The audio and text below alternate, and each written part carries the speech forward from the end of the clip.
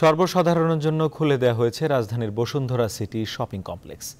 বুধবার সকালে চালু হওয়ার পর থেকেই ক্রেতা দর্শনার্থীর পদচারণায় মুখরিত হয়ে ওঠে দক্ষিণ এশিয়ার সর্ববৃহৎ এই শপিং কমপ্লেক্স। ঈদ সামনে রেখে এরই মধ্যে দারুণ সব পণ্যের সমাহার সাজিয়েছে এখানকার দোকানিরা। গত একুশে আগস্ট আগুন লাগার ঘটনার পর শপিং মলটি দশ দিন বন্ধ ছিল। বসুন্ধরা সিটি ঘুরে এসে বিস্তারিত জানাচ্ছেন জোবাইর আল মাহমুদ। বুধবার সকাল থেকেই রাজধানীর বসুন্ধরা সিটি শপিং কমপ্লেক্স ক্রেতা দর্শনার্থীর সমাগমে ছিল মুখরিত। প্রিয় এই শপিং কমপ্লেক্সে পছন্দের পণ্য কিনতে অনেকেই এসেছেন পুরো পরিবার নিয়ে। মেয়ে নাতিন নিয়ে আসছি অনেক ভালো লাগতেছে। এখানে ড্রেসগুলো আমার অনেক ভালো লাগে। এখানে ফুড কোর্টটা ভালো লাগে। আর হচ্ছে এখানে সব একসাথে সবগুলো দোকান পাওয়া যায়।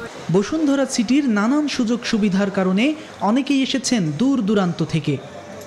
গুণগত মান অন্য যে কোনো প্রোডাক্টের তুলনায় ভালো এবং এখানে ফিক্সড প্রাইস যেহেতু আছে সুতরাং বার্গেনিং করার কোনো সুযোগ থাকে না। মার্কেটটা আসলে সব দিক দিয়েই সুবিধা।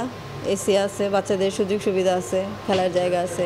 ক্রেতা দর্শনার্থীদের এমন পদচারণায় দারুণ খুশি দোকান মালিকরা। আল্লাহ রহমতে কাস্টমার সবাই আসতেছে যথারীতি কাস্টমারের বেশ সমাগম হচ্ছে।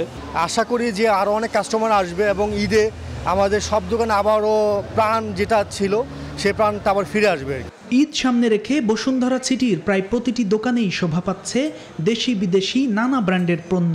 দশ দিন বিরতির পর ক্রেতাদের এমন সমাগমে দোকানিরাও জানালেন স্বস্তির কথা। ঈদ উপলক্ষে আরও বেশি বেশি কাস্টমার উঠবে এই অনুপাতে আমরা আশা করি এবং ভালো ভালো ডিজাইন কালেকশন করে রাখছি। ঈদ সামনে রেখে ফার্স্ট ওপেন করলাম বেসিক্যালি ইনশাল্লাহ ভালো হচ্ছে সামনে ভালো হবে। গত একুশ আগস্ট আগুন লেগে শপিং মলটির লেভেল ছয়ের বেশ কয়েকটি দোকান ক্ষতিগ্রস্ত হয়। এরপর ক্রেতাদের দিক মাথায় রেখে দ্রুত সংস্কার করে আবারও সবার জন্য খুলে দেওয়া হলো সবার প্রিয় এই shopping complex. Jubair Al Mahmud, news twenty Dhaka.